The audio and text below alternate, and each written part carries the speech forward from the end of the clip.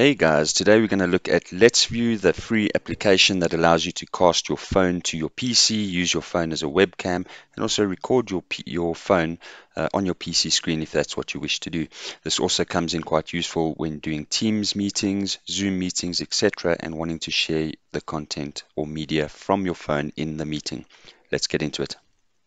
Alright, so just to tell you a little bit about Let's View quickly, it's a good way for you to cast your phone image to your computer and you can also cast your computer image to your phone, uh, which I think is slightly less useful. But especially with uh, the COVID uh, situation at the moment and teachers needing to teach online, it is quite useful to be able to share your phone on your PC screen and then further share it on a Teams meeting or something like that.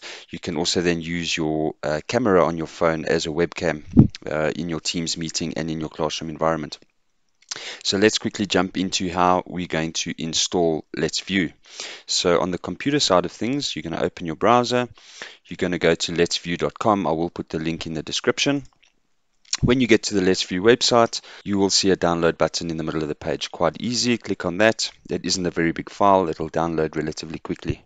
I have already downloaded and installed it, but I'll quickly run through the installation with you guys. So if you click on the installation file, you'll see this select language will pop up. You can click OK, then select next, accept the agreement, next again, It'll tell you where it's going to install next, and you have the option to create a quick launch and a desktop shortcut. We can say next again.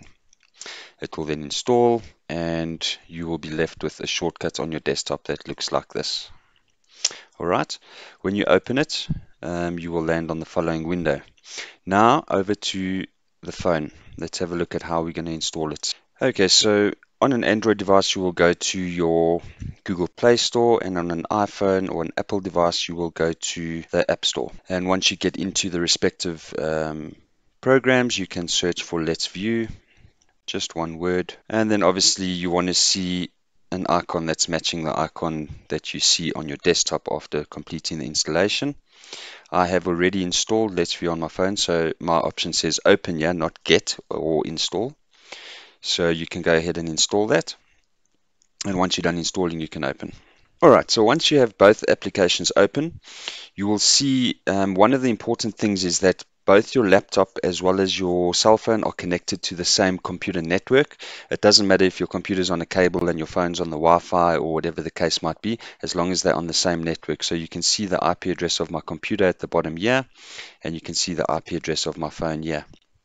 The mobile app will actually scan for any available devices that has the software on it, and you can simply select it and click connect. Um, on an iPhone specifically, it will tell you that you need to go through another couple of steps to connect, but it will tell you step by step what you need to do. Um, on an Android, it's a little bit more simple. You just literally click connect. And it's as simple as that. Then have your cell phone displaying on your screen, which is quite useful.